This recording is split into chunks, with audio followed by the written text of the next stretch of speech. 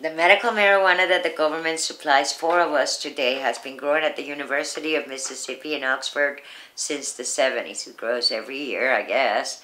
And, um, and they, they ship it to North Carolina and they get it rolled into papers and then uh, like they look like a Pall Mall I wish I had one now, but I'm leaving tomorrow and all of those are gone. All I, ha I have now in there is, uh, is my uh, utensils and things like that. And they don't smell much like marijuana sometimes. I don't know. I, this this new batch, I can't wait to get back home and, and really pay more attention because I automatically just took them out of the things and started making my oil so I could bake with it and stuff because I have to concentrate it because of the low THC.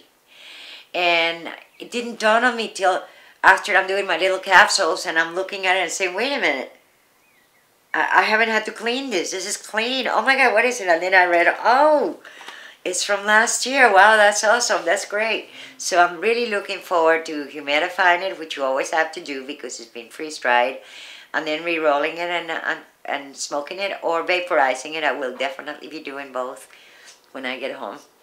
I have to carry my cannabis with me because I don't want that suitcase to get lost with six tins with a six months, five month supply of marijuana for me.